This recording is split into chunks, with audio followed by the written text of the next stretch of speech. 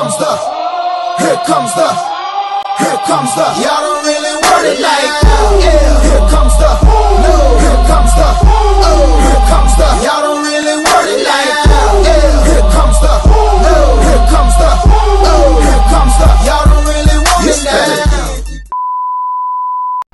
So what's up? We are right here in St. Cloud, Florida. It's like 30 minutes south of Orlando, and we're starting drum tracking today. So let's go do this.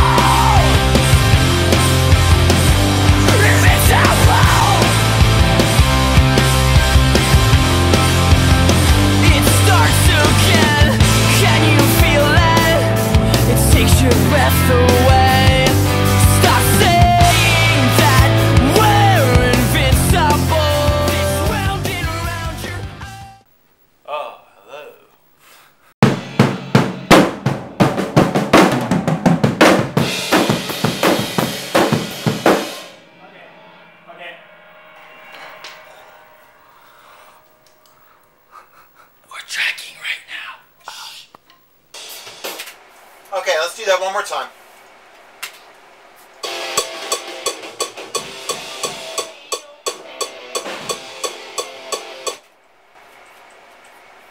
This is from the beginning of the chorus. Here we go.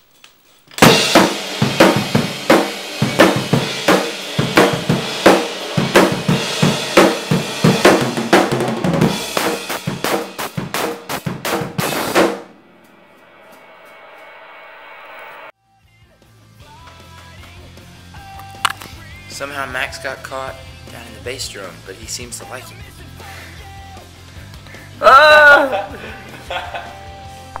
So we're done tracking drums. Um, really cool. It was a lot different than what I'm kind of used to, but I really liked it. James really pushes really, really hard. Um, and what, what I mean by that is um, he really does make you like do your best. Like even if you're playing something good but not like exactly perfect, there's no like uh, there's no um, half-assing, I guess you could say. But uh, anyways, I'm really stoked about how everything is sounding. Like just the drum sounds like really huge and stuff. So um, I don't know, it was cool. It was a good experience, and I can't wait to do it again.